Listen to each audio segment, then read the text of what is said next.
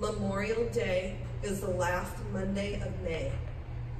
But for us Gold Star families, and for those who have served and lost a brother or sister, Memorial Day is every day. So raise up a cup this weekend, say their names in a toast, and remember their deeds. Lance Corporal Victor Dew, United States Marine Corps, my son and my hero. There is no greater love than this, that a man lay down his life for his friends. Thank you.